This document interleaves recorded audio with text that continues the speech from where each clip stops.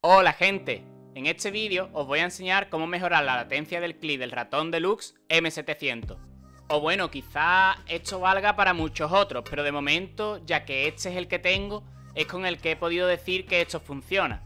Durante este vídeo entenderéis por qué quizás funcione para un ratón y no para otro. Como ya sabréis si estáis viendo esto, y si no os hago un pequeño resumen, el Deluxe M700 es un ratón para juegos ultraligeros de nivel económico, pero su latencia de clic es decepcionantemente alta, lo que esto no lo haría ideal para juegos.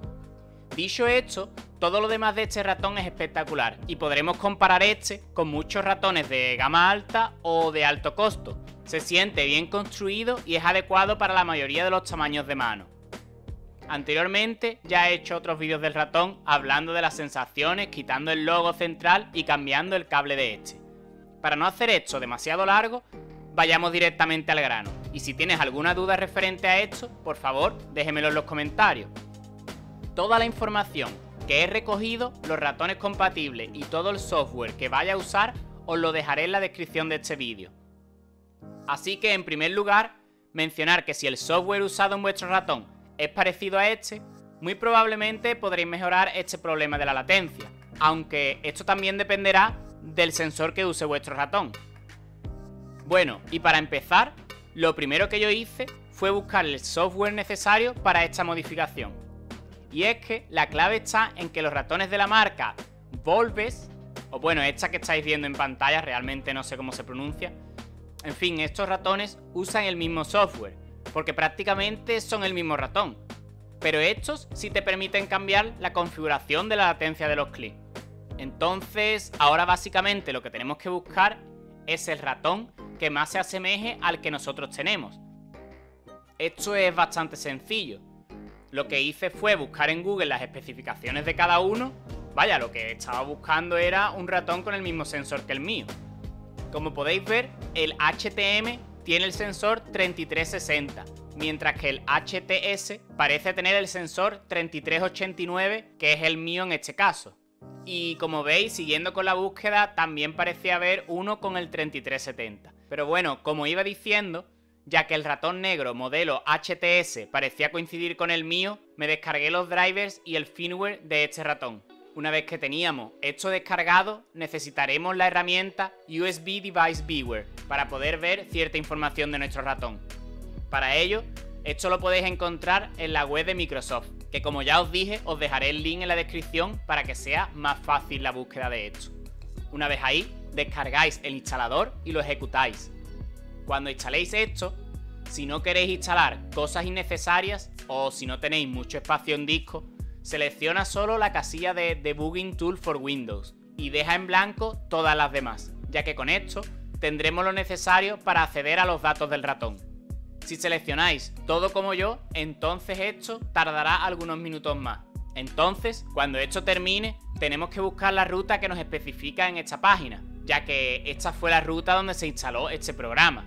Y ahí encontraremos un ejecutable llamado usbview.exe. Este es el programa que estábamos buscando. Una vez ejecutado, tenemos que encontrar cuál es el USB del ratón. Para ello, yo lo que hice fue conectar y desconectar el ratón hasta encontrar qué puerto estaba desconectándose. Aunque después de esto me di cuenta que en Product Name, es decir, en el nombre del producto, ahí te especifica qué es cada cosa, ya que en el puerto 5 decía teclado de Microsoft y ahora en el 6 dice Wired Gaming Mouse, con lo cual no hay ninguna duda de que este es el puerto que estábamos buscando. Después de esto, solo faltaba sacar la información deseada. Para ello, buscamos donde ponga ID Vendor y ID Product. Cuando lo hayamos localizado, es el momento de instalar el software del ratón. Para ello, ejecutamos el instalador que previamente nos habíamos descargado. Si os fijáis bien, una vez instalado, no es posible ejecutar este programa, ya que nos sale un mensaje diciendo que el dispositivo está desconectado. Ahora es cuando modificaremos este programa para hacerlo funcionar. Para ello, hay que buscar la ruta donde este programa se había instalado. Una vez en la carpeta de este programa, nos encontramos con un archivo llamado cfg.ini. Este archivo puede ser abierto y modificado con cualquier programa de programación, pero ya que solo íbamos a modificar un número, yo lo abrí con el blog de notas. Una vez abierto este, empezando por el cuarto párrafo, podemos ver VID, que corresponde a Vendor ID, y debería ser el mismo número que nosotros tenemos en nuestro ratón. Y el siguiente, que es el que debemos modificar, Product ID.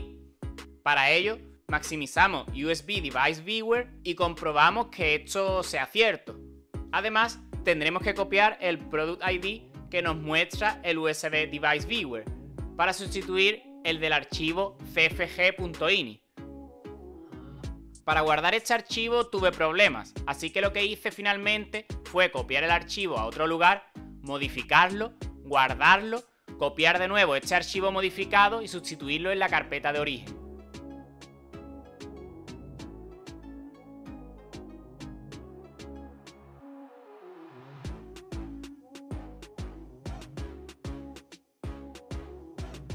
Después de esto, ejecuté el programa como administrador y parece que todo fue a la perfección.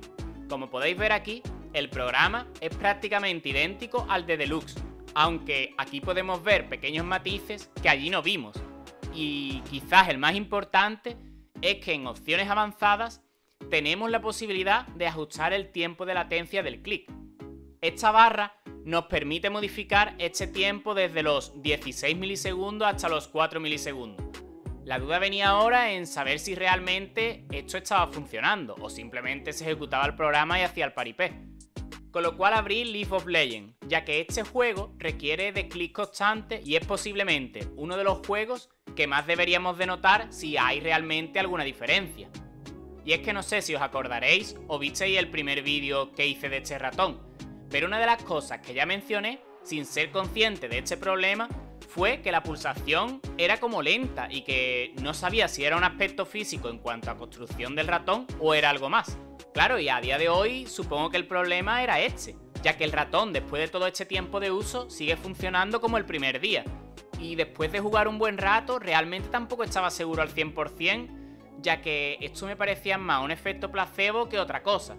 Así que para estar aún más seguro me puse a probar las funciones de ratón y parece ser que todo funciona, con lo cual ahora sí me da a pensar que realmente hemos conseguido el objetivo. De todas formas, debéis de tener cuidado con esto de la latencia y pensar que no siempre es positivo tenerlo al mínimo, ya que con esto podríamos provocar un doble clic en tu clic, ya que digamos que al hacer clic, si no soltamos al instante la pulsación, esto provocará una falsa lectura. Aunque realmente yo no he encontrado ningún problema con esto. Así que bueno, como siempre, con esto me despido. Espero que os haya sido de utilidad y nos vemos en el próximo. Un saludo.